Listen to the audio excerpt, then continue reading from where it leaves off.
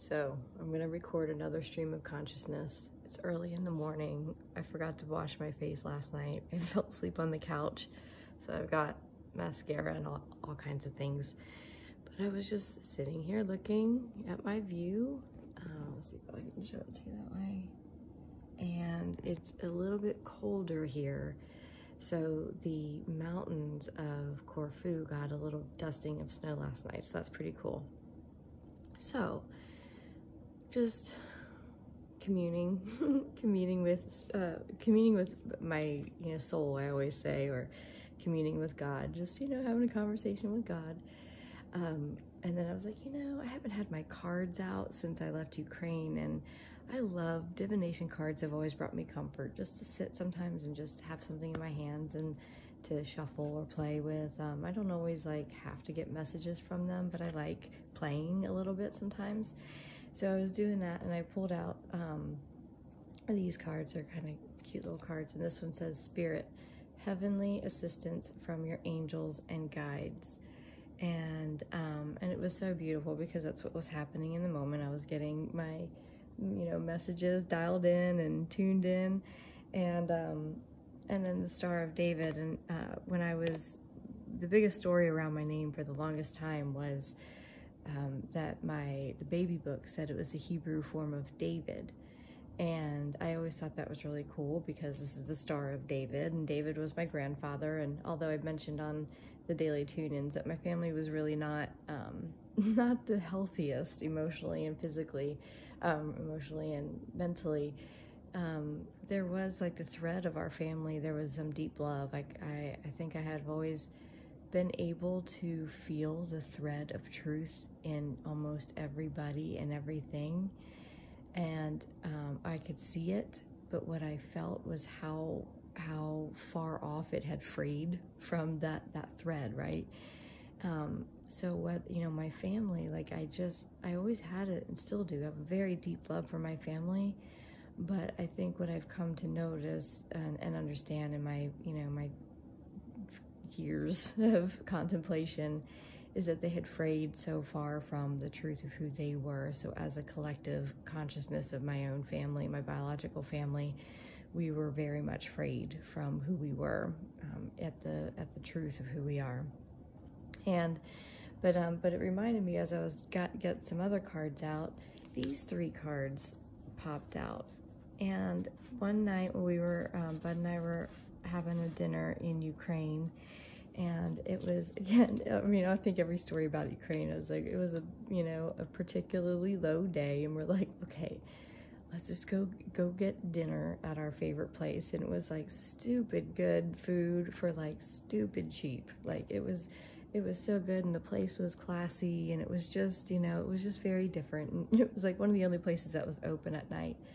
So bud and i went and um we were sitting there and this man came in and occasionally they like the gypsies would come in and try to sell stuff but they would usher them out. And somehow this this um, gypsy gentleman came in and he was older. And uh, i think he had, he had a limp and he was deaf and and blind. Like he and because i remember being like to after he left i asked my husband i was like hey honey do you do i call him um oh what wait what was the name do I call him deaf? Like, is he deaf and dumb? Is that, was that like politically correct? Like, he was all the things. He was, you know, and uh, we got to laugh because he's like, babe, you're so bad with like, you know, somebody's disabled. Like, you know, I mean it well, but sometimes I like, I don't know what's politically correct anymore. And I don't want to offend anybody. And I don't want to say words, even if he wasn't there, that were offensive, that, because my experience of this gypsy deaf and dumb guy, and I say that with the highest of love, so if it's not politically correct, um, I apologize. It's just I'm ignorant to what, what, what is politically correct at this point. Um, but I'm willing to learn if somebody would let me know. The these he came in and he was selling these cards. He was selling these cards, and I am very very much not religious, but I grew up Catholic and I, am always at church i felt like and um, but once again like i could feel the truth of what religion was because i i know for sure i had a beautiful connection with the stories of the angels and of mary I did not at all feel that I knew actually that it was a frayed story that she was a prostitute and this horrible thing. Like I was so drawn um, to uh, Mary Magdalene is who I'm talking about, but also um, the Blessed Mother.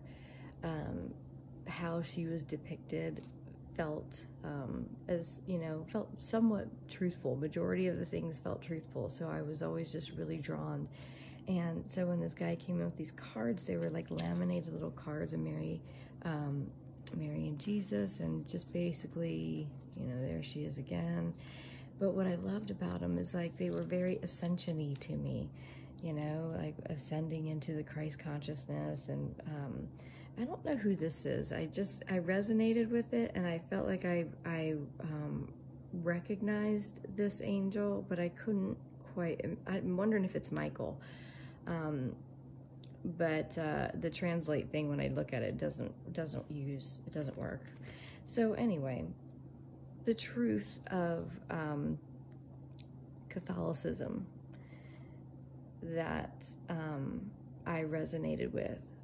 I have to be, I'm sitting here so grateful for because the truth of that was what got me into a place where, you know, when my life fought, fell around, first thing I I turned to was prayer, you know, to pray. And I remember praying being like, God, I don't know who you are at this point to me, but like I've been gone for a while because I think you changed. like I think you're, I think you're much more beautiful than people let on. I like I don't feel like I have to fear you, but I feel guilty for not fearing you because I don't know. Like I don't know what to think of you. I feel something so different than what I've been told.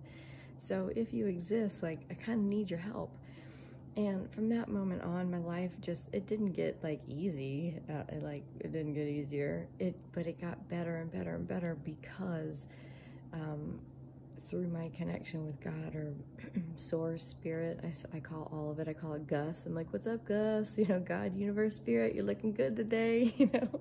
I literally will will have those conversations. My life is a prayer and as i go i am like talking to god and talking to Gus, talking to my spirit, which is all the same thing. And you know, even if it's like, well, like that's that's an interesting human you've created there. I wonder what that human mission is. Like, can you tune me in so I can maybe get a little bit clearer on why they're here and what they're doing because they're unpleasant, you know? And I like joke, my good creation there, guys. But um, having that connection with the spirit is with your spirit, with your God, whatever that is, it is it is essential right now. Like it is the thing to find because it is the peace. And I will tell you, I have lived way, way far from that peace. I have lived completely frayed in a thousand different directions from my, my spirit.